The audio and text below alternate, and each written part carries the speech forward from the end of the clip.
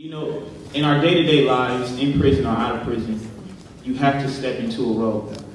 You know, if you're a father figure or if you're a boss, you're not the boss at home that you are at work. So you have to step into these roles and become this character in order to fulfill a job.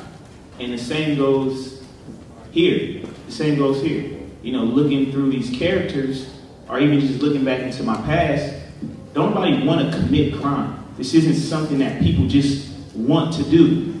You know, we find ourselves in situations and we become people that we didn't have to, but it's nine times out of ten a character flaw or something that we just developed. It's a character that we developed. It isn't who we genuinely, genuinely are.